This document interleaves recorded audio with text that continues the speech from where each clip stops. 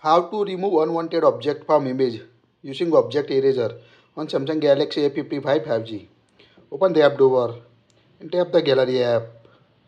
Now tap any photo you want to remove. Here we select.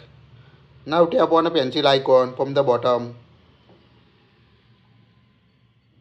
Now you can see list of option. Tap on a second last. Now here you can see object eraser option. Tap on it. Now you can see automatically identify unwanted object. Tap or draw around anything you want to erase. Here we select this. Now you can see tap on erase. Now erasing the item or object from the image. Now you can see remove. Tap on a done for the bottom.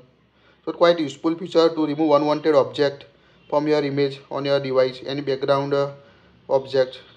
That's it. Tap on save button to save it on your phone gallery. That's it. Please like it, share it.